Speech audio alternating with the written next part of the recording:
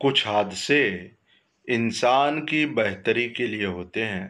لیکن انسان کو وقتی طور پر سمجھ میں نہیں آتا۔ کچھ وقت گزرنے کے بعد انسان کو سمجھ میں آ جاتا ہے کہ جو بھی ہوا میرے حق میں بہتر تھا۔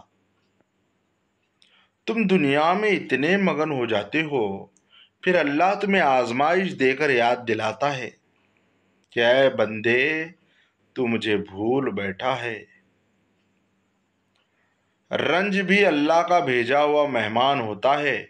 اگر اس کے ساتھ اچھا معاملہ کیا گیا ہوگا اور اسے صبر سے برداشت کیا ہوگا، تو وہ اس شاہ کے دربار میں جا کر تعریف کرے گا اور انعام کا حقدار ٹھہرے گا۔ زندگی کے مقاصد میں اولین مقصد اللہ تعالیٰ کی بنائی گئی حدود میں رہ کر خوشیوں کی تلاش ہونا چاہیے۔ کچھ شک نہیں کہ زندگی کی اصل خوبصورتی پاکیزگی میں ہی ہے۔ وقت گزرتا ہے اور گزرتا چلا جاتا ہے۔ آج جو غم یا تکلیف ہے، کل اس کی جگہ کوئی خوشی لے لے گی۔ غم کے بوجھ تلے خود کو نڈھال نہ کریں، ثابت قدم رہیں۔ اللہ آسانیاں پیدا کرے گا انشاءاللہ۔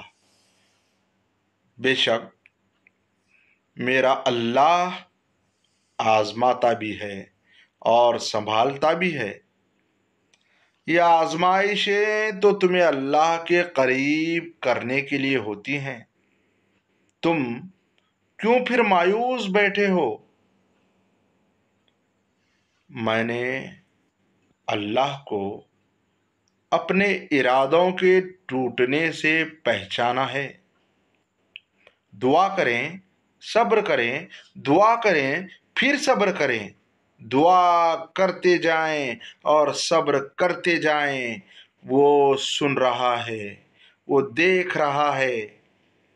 وہ آپ کے ساتھ ہے۔ یقین کر لیں۔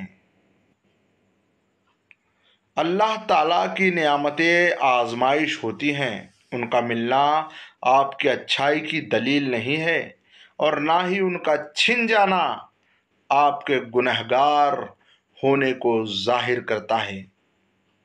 نعمتوں کا ملنا اور چھن جانا تو صبر اور شکر کا امتحان ہوتا ہے۔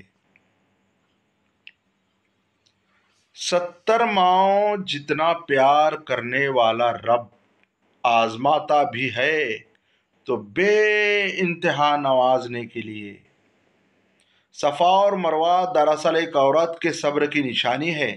جب آپ کو بے قصور کسی تپتے صحرا میں چھوڑ دیا جائے اور آپ اس پر توکل پہ کہ اللہ ہمیں کبھی ضائع نہیں کرے گا۔ صبر کریں تو پھر زمزم کے میٹھے چشمے پھوٹتے ہیں۔ سبحان اللہ۔ جب ہمارے خاموش وجود کو کوئی نہیں سنتا تو اللہ ہی سنتا ہے۔ پھر اللہ ہر بار مل جاتا ہے۔ جب جب پکارو مل جاتا ہے۔ ہاں انسان نہیں ملتے، اللہ مل جاتا ہے۔ اللہ دلوں کے حال جانتا ہے، اللہ غمگین دلوں کی مدد کرتا ہے۔ اللہ کہتا ہے، میں کسی بھی جان کو اس کی طاقت سے زیادہ نہیں آزماتا ہوں۔ جہاں میرے بندے کی ہمت ختم ہوتی ہے، وہاں اس کی آزمائش بھی ختم ہو جاتی ہے۔ جب وہ کسی چیز سے تمہیں محروم کرتا ہے، تو اس سے دگنی ایسی ہزاروں نعمتوں سے نوازتا ہے جس کے تم قابل بھی نہیں ہوتے۔ تو پھر بس راضی ہو جاؤ، کیونکہ معجزے صبر مانگتے ہیں اور تقدیریں شکر کرنے والوں کی بدلتی ہیں۔ مقدر بھی بدل دیتا ہے اور حالات بھی۔ وہ رب غم کا موسم ہمیشہ نہیں رہنے دیتا۔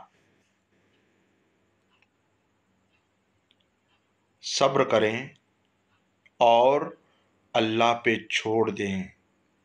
جتنی مشکل آزمائش ہوتی ہے، صبر کے سلے بھی اتنے ہی خوبصورت ہوتے ہیں۔ اللہ جب تمہیں آزمائش میں ڈالتا ہے اس آزمائش سے نکلنے کا وسیلہ پہلے ہی تمہارے لیے بنا دیتا ہے۔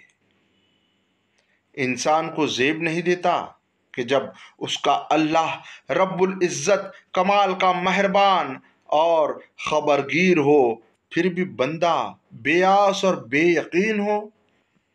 آج جو تمہیں تکلیف لگ رہی ہے نا، جانتے ہو، وہ رب تمہیں بہت بڑی مشکل سے بچانے کے لیے اس راستے سے گزار رہا ہے۔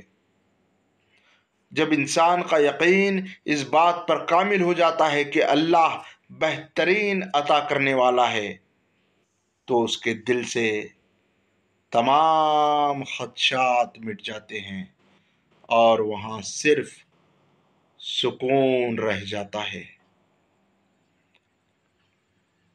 تمہاری رضا کے راستے جب بند کرتا ہے تب وہ چاہتا ہے کہ تم کے راستے پر دوڑے چلے آؤ۔ وہ تمہاری دعائیں اس لیے اپنے پاس سنبھال لیتا ہے تاکہ تم ان کی التجا کر کے بار بار اس کے روبرو جاؤ۔ وہ اگر آزمائش دیتا ہے تو تمہیں اس پر پورا اترنے کی ہمت بھی دیتا ہے۔ وہ کبھی بھی تمہیں نا امید نہیں ہونے دیتا۔ ایک منصوبہ تم بناتے ہو اور ایک منصوبہ وہ بناتا ہے، جب تم اس کی منصوبہ بندی پر یقین نہیں رکھتے ہو، تو تمہیں تمہارے منصوبے میں بھی تھکا دیتا ہے۔ اس لیے نہیں کہ تمہیں تکلیف ہو، بلکہ اس لیے کہ تم جان سکو کہ اس سے زیادہ دانائی اور حکمت والا منصوبہ ساز کوئی نہیں۔ وہ تمہیں آزما رہا ہے۔ ہر اس چیز سے جو تمہارے دل کا سکون ہے۔ تکلیف اور پریشانی کا مطلب یہ نہیں کہ اللہ آپ سے ناراض ہے۔ جب اللہ کسی سے محبت کرتا ہے تو اسے آزمائش میں ڈالتا ہے تاکہ اس کی آجزی سن سکے۔